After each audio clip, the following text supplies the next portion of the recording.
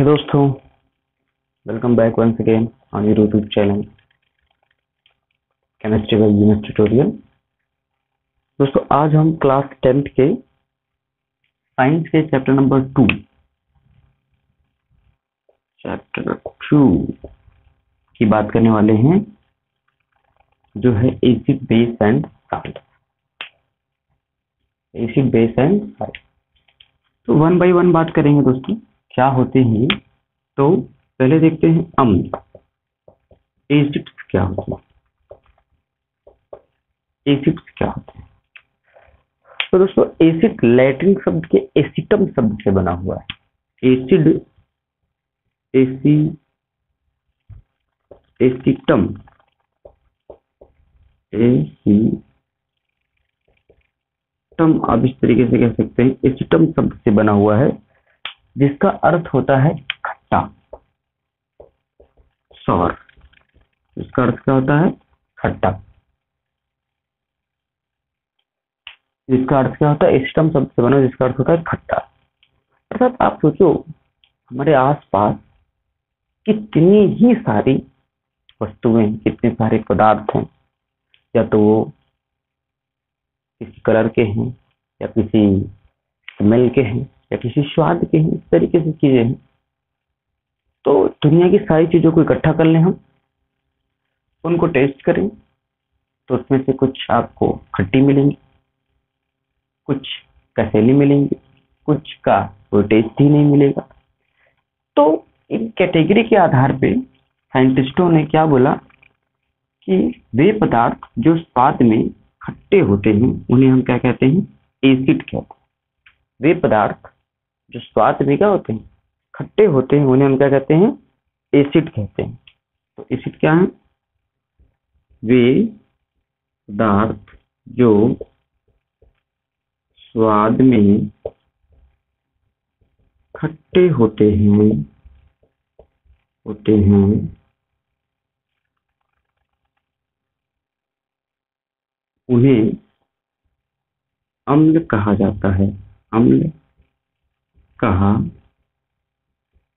जाता है? कोई आपसे पूछे? सिंपल डिफिनेशन आपको बस यही बोलना है। वे पदार्थ जो स्वाद में खट्टे होते हैं, उन्हें अम्ल कहा जाता है। इतनी सी बातें आपको बोलनी अब, कैसे आप पहचानेंगे आप हर चीज़ को तो चखने जाएँगे नहीं। पता तो गए चख, गए चखने। खाबो जहर, मर गए हम। चखने गए लिया मुँह में डाला और स्वाहा। तो हर चीज़ को तो हम चख नहीं सकते। हैं तो बगैर चखे कुछ उसके गुण होंगे, जिसको देख के या जिसको टेस्ट करके हमको पता चल जाएगा, जिसको मतलब प्रयोग वगैरह करके कि नहीं, ये तो भाई एसिड है। तो एसिड के कुछ भौतिक गुण हैं, कुछ रासायनिक गुण हैं। इस पर भी हम चर्चा करेंगे कि एसिड के भौतिक गुण क्या है, रासायनिक गुण क्या है। इससे पहले एसिड के प्रकार की बात करते हैं, अब दोस्तों एसिड के प्रकार। तो देखो, अम्ल अम्ल के प्रकार। देखो, अम्ल जो है अलग अलग तरह से चार प्रकार से बांटा गया है। अलग अलग तरह से ये चार प्रकार से बांटा गया है। एक को बोलते हैं प्रबल अम्ल, एक को बोलते हैं दुर्बल अम्ल। और एक को बोलते हैं तनु अम्ल और एक को बोलते हैं सांद्र अम्ल। हाइलो हो गया। प्रबल अम्ल, दुर्बल अम्ल, ये क्या होते हैं? पहले इन दोनों का फोकस बनाइए। जैसा कि नाम से ही बहुत ही क्लियर हो पा रहा है अम्ल तो अभी अभी पता चला क्या होता है? प्रबल और दुर्बल शब्द का अर्थ आपने अपने दैनिक जीवन में बहुत सारे प्रयोग किए होंगे, आप जानते भी होंगे। तो प्रबल का अर्थ होता है मज़बूत, टिकाऊ जैसे गोल्ड, सीमेंट। दुर्बल कम होता है कमज़ोर। तो इसकी में बात करें तो ये थोड़ा सा फैटी आदमी है, मोटा। ये, और ये क्या है? ये थोड़ा सा पतिलकू वाला है बेचारा। तो रोग भी हो गया थोड़ा, पोलियो हो गया। तो दुर्बलम प्रबलम। तो क्या कह सकते हैं? वे अम्ल जो मज़बूत होते हैं, मज़बूत का सेंस ऐसा नहीं कि तोड़ो तो टूटे ना, रेस तो लिक्विड होगा। इसका अर्थ होगा कि इसमें अम्ल ये जो अम्ल होंगे, ये बड़े ही घातक होंगे और इसमें अम्ल का गुण बहुत ज़्यादा होगा। इसमें अम्ल का गुण क्या होगा? बहुत ज़्यादा होगा। प्रबल अम्ल मतलब अम्ल की कैटेगरी में वे अम्ल जो मज़बूत होते हैं। और दुर्बल अम्ल का मतलब वे अम्ल, जो अम्ल के कैटेगरी में या अम्ल के रिस्पेक्ट में क्या होते हैं? मतलब कमज़ोर होते हैं, उन्हें हम क्या कहते हैं? दुर्बल अम्ल कहते हैं। प्रबल अम्ल वे अम्ल हैं, जो अम्ल के कैटेगरी में क्या होते हैं? मज़बूत होते हैं, उन्हें प्रबल कहते हैं, और इन्हें हम क्या कहते हैं? जो कमज़ोर होते हैं, उन्हें क्या कहते हैं? दुर्बल कहते हैं। प्रबल अम्ल के कुछ एग्ज़ाम्पल हमारे पास हैं। एच सी एल है H two S O four है एच एन ओ थ्री है। ये सब क्या है दोस्तों? ये प्रबल अम्ल के उदाहरण हैं। दुर्बल अम्ल में C S three C O O H है ना? तरीके से आपका H C O O H है। तो ये सब क्या है? दुर्बल अम्ल है। ये ऑर्गेनिक एसिड्स है और जितने भी एसिड ये थोड़ा सा इसके तुलना में क्या है? ज़्यादा मज़बूत है। थोड़ा सा इसके तुलना में ज़्यादा क्या है? मज़बूत है। परंतु उतना भी मज़बूत नहीं है जितने मज़बूत ये लोग हैं। तो दुर्बल अम्ल जितने भी हमारे नींबू में, संतरे में, आम में, टमाटर में, इमली में, ये सब में क्या पाए जाते हैं? एसिड, क्योंकि इनके साथ क्या होते हैं? खट्टे होते हैं। तो उनमें दुर्बल अम्ल ही पाए जाते हैं। कि दुर्बल अम्ल हमको नुकसान नहीं कर सकते हैं। ये हमको प्रभावित नहीं कर सकते हैं। और ये सब अम्ल अगर हमारे कहीं शरीर पे गिर जाए तो वहाँ का शरीर का समझ लीजिए तो सत्यानाश हो जाएगा वारा न्यारा हो जाएगा। और कहीं गलती से ये नहीं तो आप चखते हो, नहीं तो आप खाते हो, ये तो सिरके का अम्ल है। ठीक है? सिरके का अम्ल है, ये चीटी में पाया जाने वाला अम्ल है, ये थोड़ा सा आप इस कैटेगरी में भी इसको कभी कभी रख सकते हो। तो इमली वगैरह हम लोग खाते हैं, लेकिन अगर इसको गलती से खा लिया तो समझ लीजिए काम खत्म। तो ये प्रबल अम्ल हो गए, ये क्या हो गए? दुर्बल अम्ल हो गए। तनु अम्ल क्या होता है? ऐसा अम्ल जिसमें जिसमें जल की मात्रा, जल की मात्रा अधिक हो। क्या हो दोस्तों? ऐसा अम्ल जिसमें जल की मात्रा अधिक हो, उसे हम क्या कहेंगे? तनु अम्ल कहेंगे। उसे क्या कहेंगे? तनु अम्ल कहेंगे। और ऐसा अम्ल जिसमें जिसमें जल की मात्रा कम हो। जल की मात्रा क्या हो? कम हो। अर्थात जब जल की मात्रा कम होगी तो अम्ल की मात्रा ज़्यादा होगी और अम्ल की मात्रा ज़्यादा होगी तो वो सांद्र अम्ल बनेगा। और सांद्र अम्ल ही आपका क्या होगा? प्रबल अम्ल की श्रेणी में आ सकता है। सांद्र अम्ल ही प्रबल अम्ल की श्रेणी में आ सकता है और तनु अम्ल ही दुर्बल अम्ल की श्रेणी में आ सकता है। तो ये तो ओरिजिनल इसके प्रकार हैं। इसको तो हम पानी मिला के बना सकते हैं कि मतलब सांद्र अम्ल में पानी मिला दें तो सांद्र अम्ल ने लिया। अगर उसमें पानी वगैरह मिलाएँगे तो क्या हो जाएगा? वो तनु अम्ल बन जाएगा। लेकिन एक चीज़ का बहुत विशेष ध्यान रखना है, कभी भी हम अम्ल में अम्ल में पानी नहीं डालते हैं। ये ध्यान रखना है। जबकि पानी में अम्ल डालते हैं। ये वैसे ही है। ऐसा आप कह सकते हैं, कभी भी कभी भी पानी को आग में नहीं डालते आग को पानी में नहीं डालते कभी भी आग को पानी में नहीं डालते हैं, बल्कि पानी को आग में डालते हैं। कभी भी आग को पानी में नहीं डालते हैं, बल्कि पानी को आग में डालते ये हुई ना बात। तो कभी भी अम्ल में पानी नहीं डालते। अगर हमारे पास अम्ल है, यहाँ पे रखा हुआ किसी बर्तन में, और इसमें आपने पानी डाल दिया, कि ब्राम से बम की तरह फूट जाएगा, और हमारा पूरा का पूरा चेहरा, हमारा पूरा शरीर खराब हो जाएगा, क्योंकि ये बहुत ही पावरफुल है है ना? पावरफुल है। अगर हमने गलती से इसमें क्या कर दिया, पानी डाल दिया तो तुरंत ही वो रिएक्शन करके तुरंत ही हाइड्रोजन गैस निकलेगा और तुरंत ही ब्लास्ट हो जाएगा और प्रॉब्लम खड़ी हो जाएगी। इसीलिए हमको क्या करना है? पानी लेना है पहले। ये है पानी और धीरे धीरे क्या करना है? अम्ल की एक एक बूंद डालनी है। तो पानी ज़्यादा है, अम्ल कम है तो धीरे धीरे आएगा, वो उससे मिक्स होता जाएगा मिक्स होता जाएगा और उतना प्रॉब्लम नहीं होगा। यहाँ तो अम्ल ही ज़्यादा था, पानी थोड़ा थोड़ा डाले तो गड़बड़ हो है। ऐसा कभी भी नहीं करते हैं। तो अम्ल क्या होते हैं? ये पदार्थ जो स्वाद में खट्टे होते हैं, उन्हें हम अम्ल कहते हैं। अम्ल के प्रकार अलग अलग कैटेगरी में अम्ल को प्रबल, दुर्बल, तनु और सांद्र में बांटा गया है, जिसको आप देख सकते हैं। अब आगे बात करते हैं अम्ल के कुछ भौतिक गुण। अम्ल के कुछ भौतिक गुण।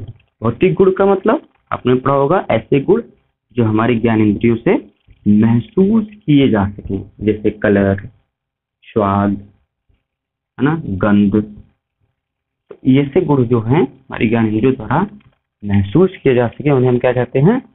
भौतिक गुण कहते हैं। तो हम कह सकते हैं, अम्ल के भौतिक गुण। पहला तो अम्ल का भौतिक गुण। यही है, इसकी परिभाषा ही है। ये स्वाद में खट्टे होते हैं। होते हैं साहब ये स्वाद में खट्टे होते हैं। अम्ल के भौतिक गुण में पहला यही हो गया कि ये स्वाद में क्या होते हैं? खट्टे होते हैं।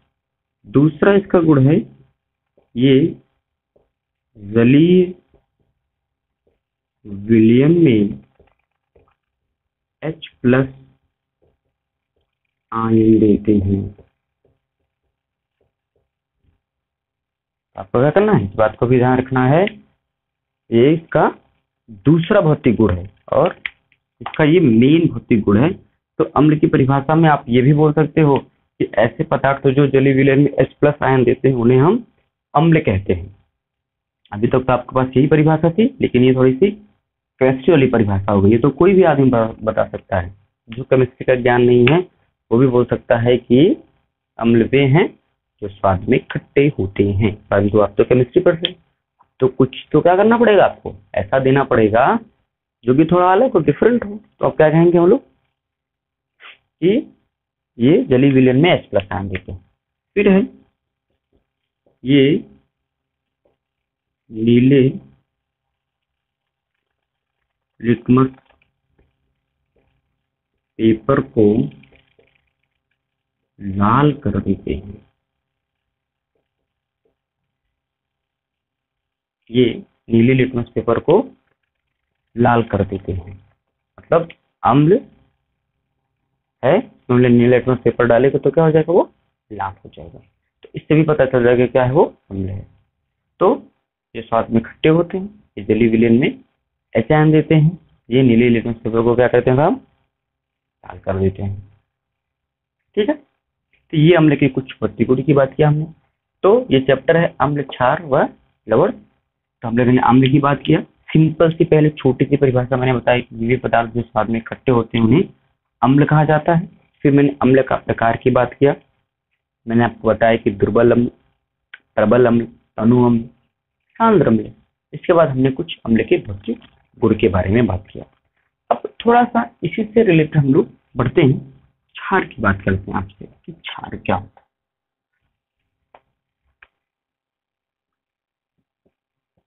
क्षार बेस तो इन्हें कहते हैं वे पदार्थ वे पदार्थ जो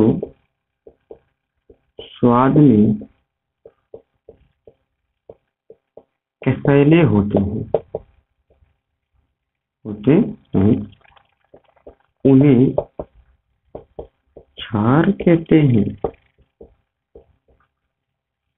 वे पदार्थ जो स्वाद में कैसैले होते हैं, जैसे साबुन कभी आपने गलती से चख लिया हो, है ना?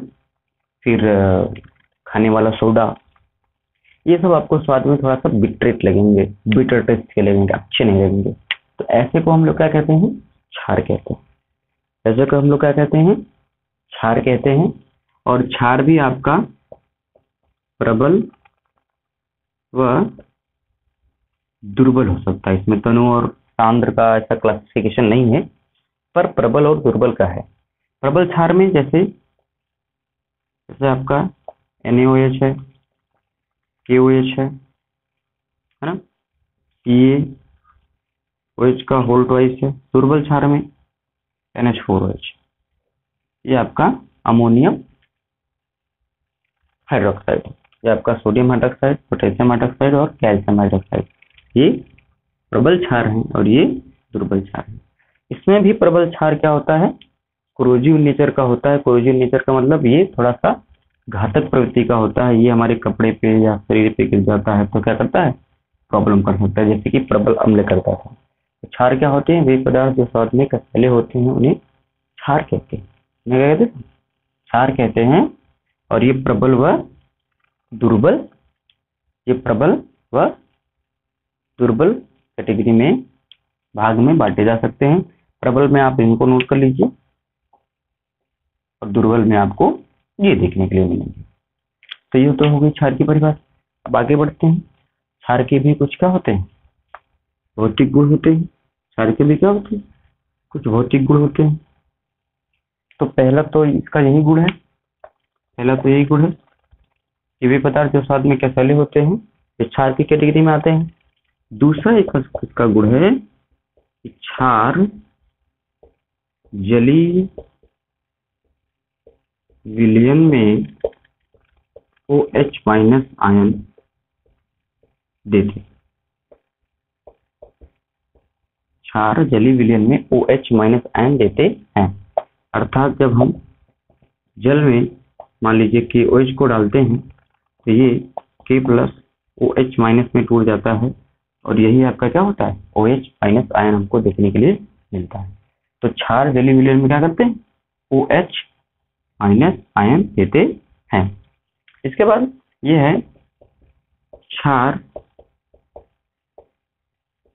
लाल लिटमस को नीला कर देते हैं। क्षार लाल लिटमस को नीला कर देते हैं। अच्छा मैं लिटमस बार बार बोल रहा हूँ। देखिए लिटमस जो है, एक पेपर होता है, जो कि लाइकेन लाइकेन नामक पौधे से प्राप्त किया जाता है। लाइकेन जो है एलगी एलगी और फंजाई से मिलकर बना हुआ एक पेड़ होता है लाइकेन उसी से हम ये क्या करते हैं? लिटमस पेपर प्राप्त करते हैं। और इंडिकेटर की तरह, अर्थात चेक करने की तरह की ये अम्ल है कि क्षार है, उसका हम क्या करते हैं? यूज़ करते हैं। क्या करते हैं? यूज़ करते हैं कि इस तरीके से क्या होता है इंडिकेटर आगे हम सूचक पढ़ेंगे इंडिकेटर पढ़ेंगे तो वहाँ पे और क्लियर बात करेंगे। ठीक है? अब देखिए, अम्ल हो गया हमारे पास, क्षार हो गया। अब जब कभी भी अम्ल और क्षार, जब कभी भी अम्ल और क्षार आपस में कर लेते हैं दोस्ती या आपस में कर लेते हैं शादी तो बन जाता है एक नया पदार्थ। जब कभी अम्ल और क्षार कर ले आपस में दोस्ती या प्यार तो बन जाता है नया पदार्थ, जिसे कहते हैं लवण या साल्ट ये हो। तो साल्ट क्या होता है? साल्ट क्या होता है? जब अम्ल व क्षार आपस में आपस में अभिक्रिया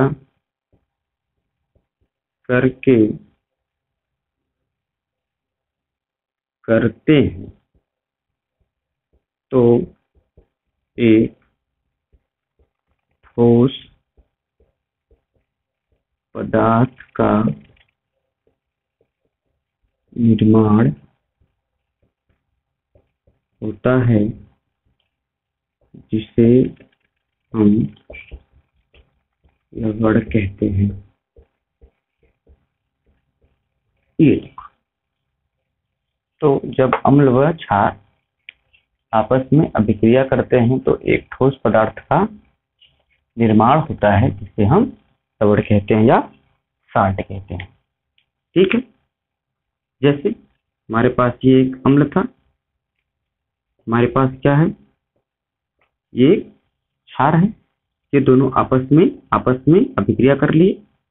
आपस में अभिक्रिया कर लिए और ये बन गए NaCl प्लस H2O यही जो सॉलिड सॉलिड चीज़ आपको देखने के लिए मिला, यही क्या है आपका? लगभग है। क्या है आपका? आल्ट तो जब अम्ल व क्षार आपस में अभिक्रिया कर लेते हैं तो एक ठोस पदार्थ का निर्माण होता है, एक ठोस पदार्थ का निर्माण होता है, जिसे हम क्या कहते हैं? और कहते हैं। इस क्रिया को आगे में जोड़ा देखो। इस क्रिया को ही उदासीनीकरण अभिक्रिया भी कहते हैं। ये इस क्रिया को ही उदासीनीकरण अभिक्रिया भी कहते हैं। इसका अर्थ ये है कि जब अम्ल और क्षार आपस में अभिक्रिया करते हैं तो ये उदासीनीकरण अभिक्रिया भी कहलाती है। तो कोई आपसे पूछे उदासीनीकरण अभिक्रिया क्या है तो आप कहेंगे, जब अम्ल और क्षार आपस में अभिक्रिया करके लवण और जल का निर्माण करते हैं तो इस क्रिया को उदासीनीकरण अभिक्रिया कहते हैं। तो ध्यान दीजिएगा ये अम्ल है ये क्षार है। तो जब अम्ल को क्षार में हम मिला देते हैं जब अम्ल को क्षार में हम मिला देते हैं इस अभिक्रिया को मैं बता रहा हूँ ध्यान समझिए आप। जब अम्ल को हम क्षार को क्षार में मिला देते हैं तो अम्ल क्षार के गुण को खत्म करना चाहता है और क्षार अम्ल के गुण को खत्म करना चाहता है। पर, पर होता क्या है? यहाँ पर आप देखो, अम्ल भी पावरफुल क्षार भी पावरफुल दोनों लड़ रहे हैं, दोनों एक दूसरे से लड़ रहे हैं, लड़ रहे हैं, लड़ रहे ना ये जीता, ना ये हारा, और बन गया एक नया पदार्थ, और निकल गया पानी। जैसे दो पहलवान हैं, दोनों की शक्ति एकदम मज़बूत है। दोनों एक जैसे शक्ति के ना ये ज़्यादा मज़बूत है नहीं ये ज़्यादा मज़बूत है। दोनों बराबर है तो दोनों को हमने लड़ा दिया। आप ये लड़ रहे लड़ रहे एक घंटे तक कुश्ती चली। पर ना ये वाला इसको पटक नहीं दे पाया, ना ये वाला इसको पटक नहीं दे पाया।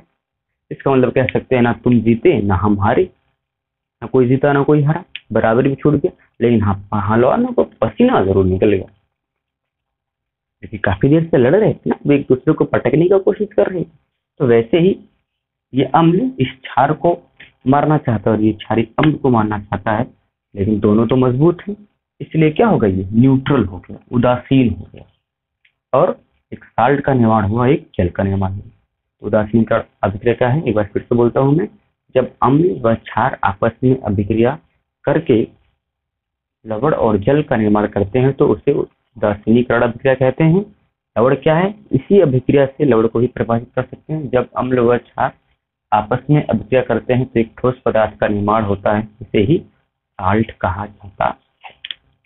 इसे ही साल्ट कहा जाता अब इसी में एक चीज़ आपको देखने मिलता है, सूचक। थोड़ा वीडियो लंबा भी हो जाएगा। तो सूचक क्या होता है? नेक्स्ट वीडियो में उसकी बात करेंगे। तब तक के लिए बने रहिए हमारे साथ।